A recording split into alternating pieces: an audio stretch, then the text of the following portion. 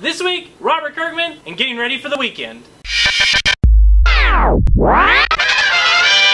I want you to come to the Kentucky International Convention Center this weekend for Derby City Comic Con. We're going to be there set up, so make sure to come by our booth and check us out. Also, he's going to have some big guests. Mark Waid's going to be there from Marvel's Daredevil. He's also written a ton of other stuff for DC, like Flash and Kingdom Come. This is going to be an awesome con. Make sure you come on out. Louisville's only an hour away. It's well worth the drive. Robert Kirkman has a brand new book out this week, but first, we're going to talk about one of his older trade paperbacks. Hi guys, I'm Zach. I'm the one you usually hear yelling at Jewett from behind the camera in the bloopers. I just want to take a second to talk to you about Destroyer. Uh, this was a book that Robert Kirkman and Cory Walker put out using old Timely uh, characters. If you're a big fan of Robert Kirkman, this was put out under Marvel's Max line, so it's an adult book. Very, very violent. Cory Walker is the artist from Invincible, so there's a lot of really violent gore in this book. It's just about a uh, government agent uh, superhero just destroying the bad guys. It's a lot of fun. I really recommend you check this one out.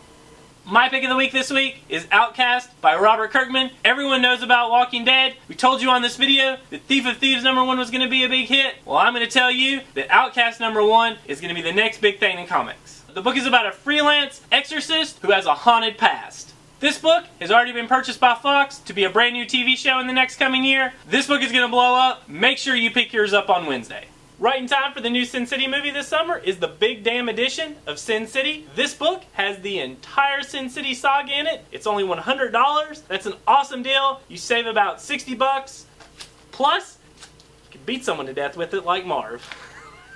Out this week from DC Direct is the brand new DC Universe action figures. This week, the Earth 2 set is out. You've got Batman and the Flash and Green Lantern. Also out this week from DC Direct statue line is a new CoverGirl statue, Poison Ivy this time. Something a little bit different this week is a Flash Patina statue. Guardian of the Galaxy pop figures are out this week. These are going super fast. Make sure if you want these, you comment on the video. Also, from pop figures this week, we have these awesome Deathstrokes. They're comic book store exclusive.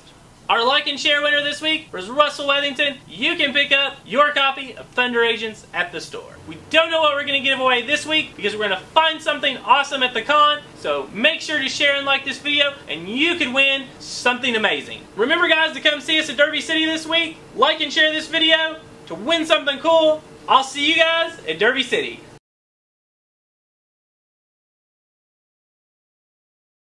Outside of I guess the 616 universe. It's it's an alternate universe story. No one knows even what you just said. It's a valid point.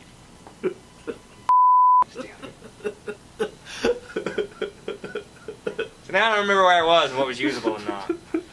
Take it from the top now. this is fun. It's gonna be awful. It's gonna be this entire video, aren't you?